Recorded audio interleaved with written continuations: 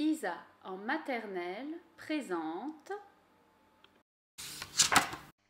Marcel le magicien de Anthony Brown. Marcel adorait le foot, mais il avait un problème.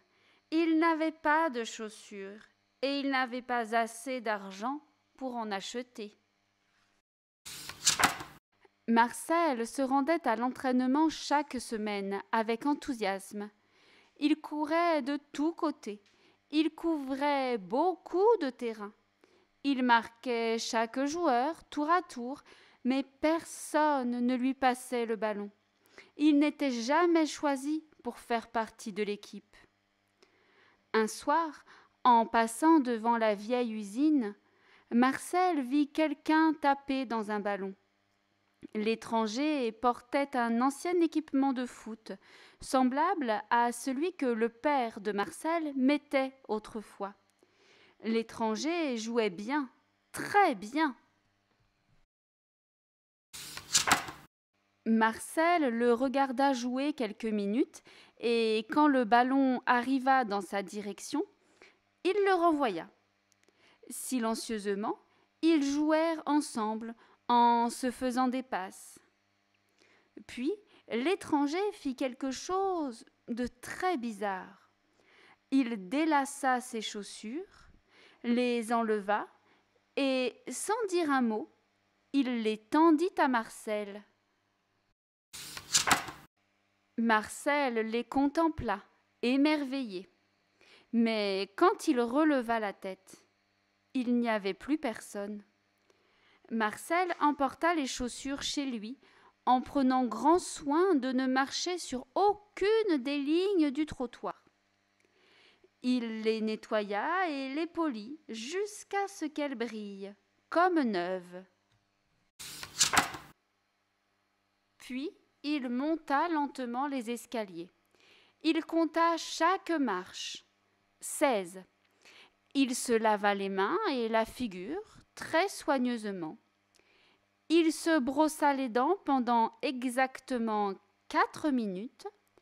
Il mit son pyjama, toujours le haut en premier, toujours boutonné en quatre endroits.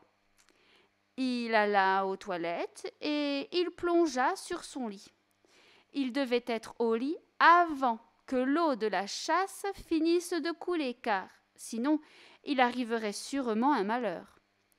Euh, tous les matins, il refaisait les mêmes mouvements en sens inverse.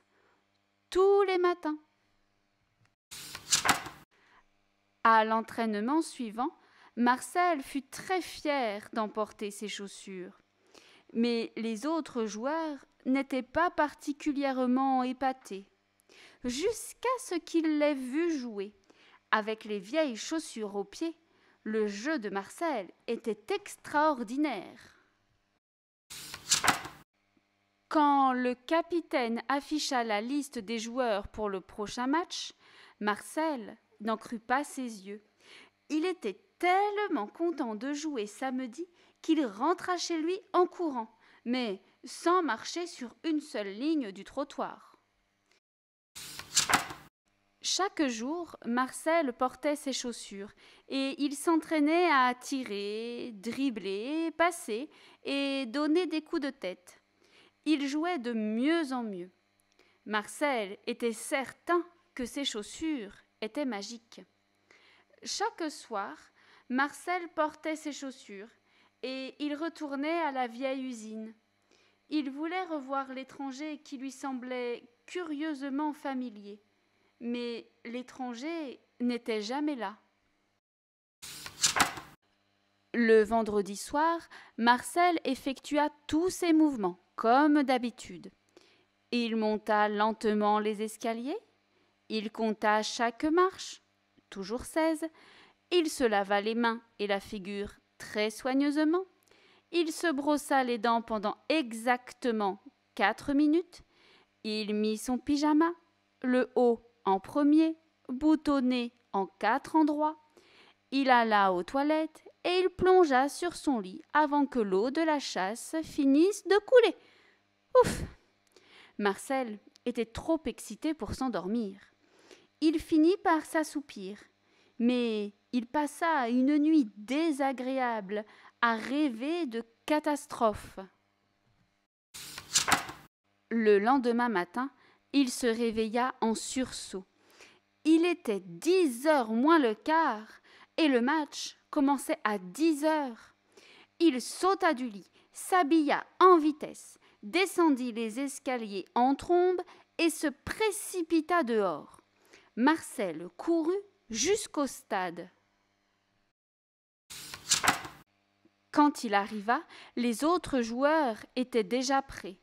Le capitaine lança une tenue à Marcel qui l'enfila.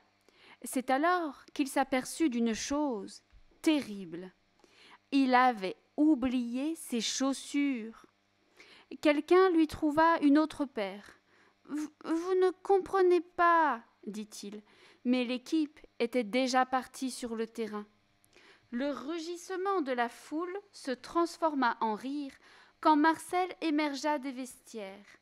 Marcel fit mine de sourire, mais au fond, il était furieux.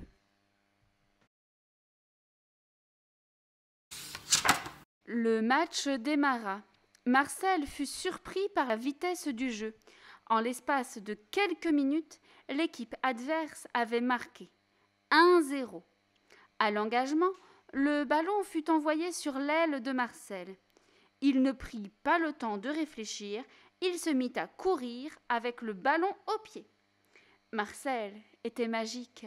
Le ballon paraissait attaché à son pied par un fil invisible.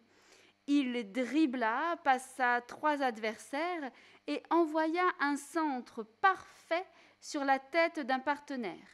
But Tout réussissait à Marcel.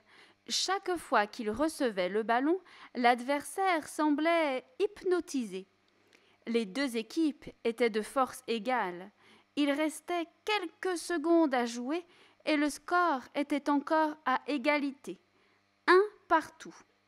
Marcel était en position de défenseur quand le ballon lui arriva.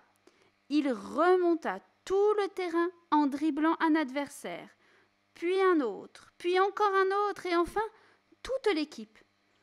Il ne restait plus face à lui que le gardien de but. Il était immense et la cage semblait minuscule.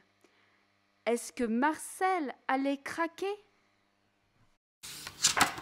Non, la foule fut envoûtée lorsque Marcel réussit le tir croisé parfait. C'était magique. But Bravo, bravo, Marcel le magicien scanda la foule. Plus tard, en rentrant chez lui, Marcel pensa aux chaussures et à l'étranger, et il sourit. Mon histoire est terminée.